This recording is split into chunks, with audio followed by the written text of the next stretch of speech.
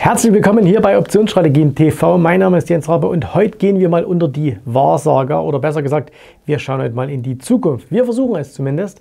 Also äh, lasst uns mal gemeinsam ins Jahr 2020 schauen und weil wir ja hier über das Thema Optionen reden, müssen wir natürlich unbedingt über das Thema Volatilität reden. Das heißt also, wir schauen uns einfach mal an, ähm, wo die Volatilität steht im Verhältnis zu den letzten Jahren, was wir für nächstes Jahr erwarten können und äh, was super Zeichen sind, wo ihr einfach darauf achten solltet, damit ihr äh, euch gut vorbereiten könnt für das Jahr 2020. Also auf geht's.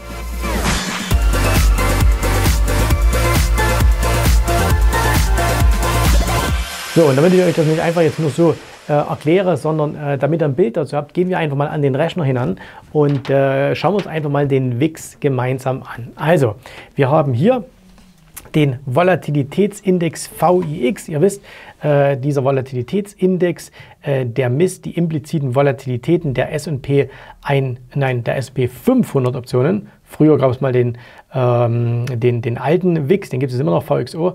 Äh, der hat das Ganze auf die S&P 100 Optionen gemessen, aber jetzt hier auf die S&P 500 Optionen und zwar mit einer durchschnittlichen Restlaufzeit von 30 Tagen.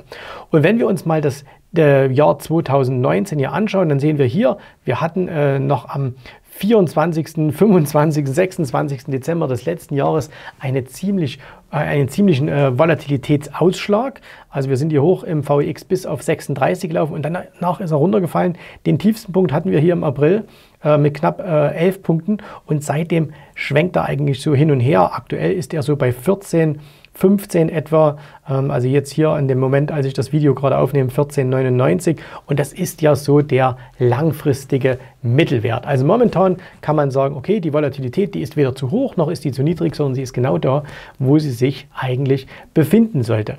Ähm, es hilft ja immer, wenn man sich das Ganze mal ein bisschen aus der Entfernung anschaut. Und Charts aus der Entfernung anschauen, das bedeutet natürlich einfach, wir gehen in einen Wochenchart, ziehen uns das Ganze ein bisschen auf und das machen wir jetzt hier mal gemeinsam. Und äh, da sehen wir hier jetzt einfach mal die letzten Jahre und vielleicht schauen wir uns erstmal die letzten ähm, zwei Jahre nochmal an. Und da sehen wir natürlich klar, 2018, da kann sich vielleicht der ein oder andere von euch auch noch entsinnen, da sind die Märkte natürlich äh, ja, gleich zu Beginn des Jahres, also der Januar 2018 war noch ziemlich gut. Dann kam dieser berüchtigte 5. Äh, Februar 2018. Der äh, VIX ist 100% gestiegen an einem Tag und ähm, daraufhin ist natürlich, äh, sind die Aktienmärkte eingebrochen. Ja? Also was war zuerst der Einbruch Aktienmarkt oder Anstieg wohl beides gleichzeitig. Und dann hatten wir also ein sehr, sehr volatiles Jahr. Also auch hier nochmal am Chart sieht man das sehr, sehr schön. Das Jahr 2018, zwei wirklich große Anstiege. Also hier einmal bis auf 50 Punkte im Februar und dann hier nochmal ähm, in der Weihnachtswoche bis hinein in den Bereich auf 36. Vergleichen wir das mal mit dem ähm, Jahr 2019, da hatten wir auch eine relativ stabile Entwicklung an den Aktienmärkten. Da sehen wir, dass die Hochpunkte deutlich geringer waren. Also höchster Punkt war eigentlich dann hier schon die erste Januarwoche, aber da waren wir schon auf dem Rückgang. Da waren wir nämlich so bei roundabout 29. Dann gab es nochmal hier sowas 23, 24, hier oben nochmal 24, 25 und das war es eigentlich auch schon. So, jetzt könnte man natürlich vermuten, okay, wenn wir also das Jahr 2018 eine hohe Volatilität hatten und das Jahr 2019 eine geringe Volatilität, dann müssten wir doch auch jetzt wieder eine hohe Volatilität bekommen. Aber, und dann nehmen wir uns einfach mal noch ein Jahr dazu, wenn wir uns mal das Jahr 2017 anschauen, da sehen wir, ähm, das war eine wirklich niedrige Volatilität. Ne? Also da kann man sehr, sehr schön erkennen, dass da wirklich die Vola ähm, extrem gering war. Äh, da hatten wir ja auch das bisherige Alttime äh, All-Time, heißt es so, All-Time Low. Ne? Äh, da waren wir sogar knapp unter 9 mal, 8,96. Und ähm, das war ja hier, nachdem Trump 2016 gewählt wurde, die Börse nach oben gerannt, wie verrückt. Ähm, wobei Ergebnis äh, war gar nicht so viel anders, aber es war noch volatiler als äh, jetzt, äh, noch volatilitätsärmer als in diesem Jahr. Das heißt also, der Rückschluss, bloß weil wir jetzt in diesem Jahr deutlich weniger Wohle hatten als 2018, müssen wir das nächste Jahr wieder eine höhere haben. Stimmt natürlich nicht. Ne? Es kann also auch durchaus sein, dass die Wohler sich noch weiter beruhigt und das Jahr 2017 wäre, war nicht das einzige Mal, wo wir so eine niedrige Wohle hatten, sondern ähm, da gab es auch in den Jahren zuvor schon. Das heißt also, wir können erstmal, und das ist eigentlich die erste Kernaussage aus dem bisherigen Verlauf, überhaupt nicht ableiten, ähm, wie wird es jetzt kommen. Hätten wir jetzt eine wahnsinnig hohe Volatilität gehabt, also wie beispielsweise jetzt 2018, ähm, dann ist es relativ leicht auf die Zukunft zu schließen. Warum? Weil nach hoher Volatilität folgt niedrige Volatilität. Hätten wir gehabt eine Volatilität wie 2017, extrem niedrig, kann man auch in die Zukunft schließen und sagen, okay, sie wird wieder hochgehen. Jetzt sind wir aber gerade so mittendrin und da ist einfach alles möglich. Es kann hochgehen, es kann runtergehen. Ne? So, das ist eine tolle Aussage, ich weiß, aber das ist nun mal die Realität. Das heißt, aus dem aktuellen Geschehen können wir nicht ableiten, wie wird das nächste Jahr. Und deswegen macht es auch überhaupt keinen Sinn, zu sagen, nächstes Jahr passiert das oder nächstes Jahr passiert das, sondern wir müssen uns einfach bewusst machen, beides ist möglich. Die Börsen können weiter steigen, ähm, da gibt uns die Volatilität keinen Aufschluss und äh, die Börsen können genauso fallen. Ähm, auch da gibt uns momentan die Volatilität keinen Aufschluss. Und jetzt müssen wir einfach schauen, okay, woran könnten wir denn erkennen, was passiert? Der Punkt ist der, es gibt so verschiedene Indikationen, äh, worauf ihr achten könntet und ein paar will ich euch einfach jetzt nur mal nennen. Punkt Nummer eins wäre natürlich der VIX selbst. Also, wenn wir jetzt sehen würden, dass die Volatilität ansteigt, während gleichzeitig der Markt ansteigt, dann wäre das ein sehr negatives Zeichen. Ne? Weil ansteigender Markt sollte eigentlich mit niedriger Volatilität einhergehen. Wenn wir aber sehen, dass die Vola steigt, obwohl auch der Markt steigt, dann wissen wir, aha, da gibt es also schon irgendein paar Jungs, die anfangen sich abzusichern und das sind in der Regel die Informierten. Ähm, deswegen achte darauf, was macht der VIX. Wenn die Aktienmärkte runtergehen und der WIX geht natürlich nach oben, alles, alles normal. Geht ähm, der Markt nach oben und der WIX bleibt unten und stabil, niedrig, auch alles okay. Aber wenn der Markt steigt und der WIX selber steigt mit an, dann solltet ihr auf jeden Fall genauer hinschauen, was da passiert. Punkt Nummer zwei ist die äh, Terminstrukturkurve. Schaut euch die Terminstrukturkurve der Volatilität an.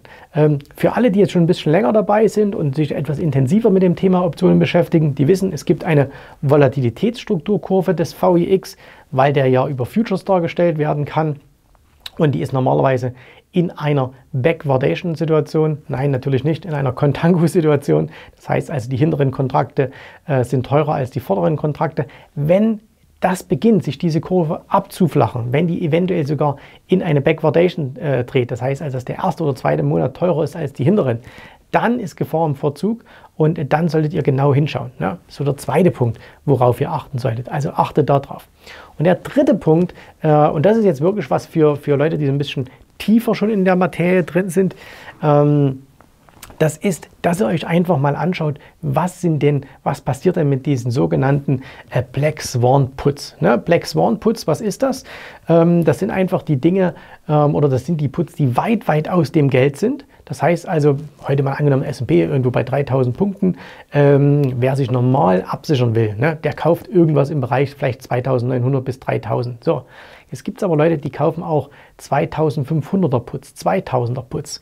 Und da wissen wir, dass die eine absolut geringe Wahrscheinlichkeit haben, ins Geld zu gehen. Ne? Die haben eine absolut geringe Wahrscheinlichkeit, ins Geld zu gehen ähm, und deswegen äh, sind die furchtbar billig. Aber sollte mal was passieren, so wie im Jahr 2018 im Februar, dann werden die explodieren, die werden sich für 10, für 20, für 30-fachen und deswegen kaufen die viele Fondsmanager zur Absicherung. Das heißt also, die kaufen die zur Absicherung, weil sie sagen, okay, wenn es runtergeht und wenn es über Nacht passiert, dann werden die explodieren und mir so ein bisschen ähm, zumindest meine Verluste äh, verringern, die ich dann vielleicht habe. Und deswegen nennt man die Black Swan Puts, weil da muss schon wirklich was Besonderes passieren, ähm, dass, die, dass die ansteigen. Also ganz pauschal gesagt, das sind Optionen, äh, die sehr, sehr weit weg sind. So, wie kann man das jetzt messen? Ihr könnt euch natürlich jetzt immer die Preise anschauen. Nein, viel zu aufwendig. Ihr schaut euch den sogenannten Skew-Index an. Ne?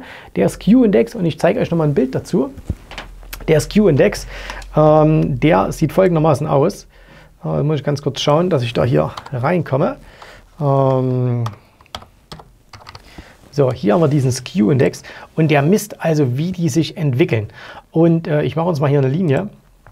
Und äh, der entscheidende Punkt, was bei denen wichtig ist, bei diesem Skew-Index, äh, ist eigentlich nur eine Sache. Und zwar, wenn die Volatilität niedrig ist, also wenn ihr eine niedrige Volatilität habt und ihr seht, dass dann dieser Skew-Index fällt, so wie wir das hier gesehen haben, ne, also im Jahr 2017, runter zu aufs Jahr 2018, ist der gefallen bis in den Januar hinein. Das heißt, obwohl der Markt super nach oben gegangen ist, obwohl die Volatilität extrem niedrig war, haben die Fondsmanager, haben die Hedgefonds, haben die involvierten äh, Marktteilnehmer, die groß im Markt sind, ihre ihre Extremabsicherung schleifen lassen. Das heißt, die haben die nicht mehr nachgefragt. Und deswegen, als dann dieses Marktereignis kam, waren viele so wahnsinnig überrascht, äh, wurden überrollt von dem, was am Markt passiert ist. Und deswegen äh, stieg dann auch die Volatilität so wahnsinnig an, weil natürlich sich dann viele äh, in Notsituationen befunden haben. So, wenn ihr also jetzt seht, dass wir weiterhin einen niedrigen WIX-Index haben und gleichzeitig allerdings die, der Skew auch fällt, dann müsst ihr aufpassen. Ne? Solange das nicht passiert, ist alles okay. Und aktuell, können wir uns das mal hier anschauen, sehen wir, dass die Volatilität fällt. Okay, also ist hier der untere Teil des Charts, aber der Skew sogar ansteigt und momentan sogar auf dem höchsten Level des Jahres ist. Das heißt, die Marktteilnehmer sichern sich ab und das ist nicht etwa der Hinweis darauf, dass die etwas erwarten, sondern dass die Marktteilnehmer vorsichtig sind. Und das ist ein gutes Ding, weil wenn viele vorsichtig sind, ne, dann werden nicht so viele wilde Geschäfte gemacht und vor allen Dingen, wenn es mal nach unten geht, werden viele nicht überrannt. Und das ist also so der dritte Punkt, wo ihr darauf achten könnt. Das war natürlich jetzt hier so ein bisschen mit dem D-Zug durch das Ganze gefahren. Es gibt noch viel, viel mehr Dinge, ähm, auf die man achten kann, die man aus dem Optionshandel heraus ableiten kann.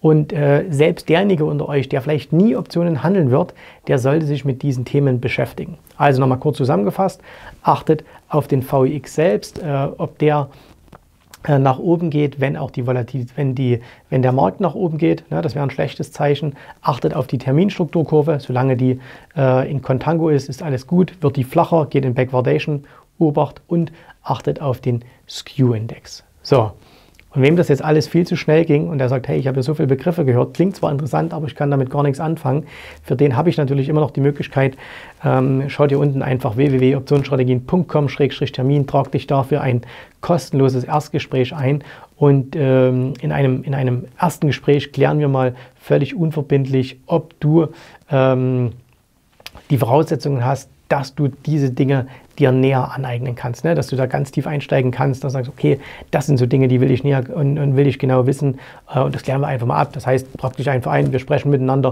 und danach werden wir sehen, äh, ob sich da was ergibt oder nicht.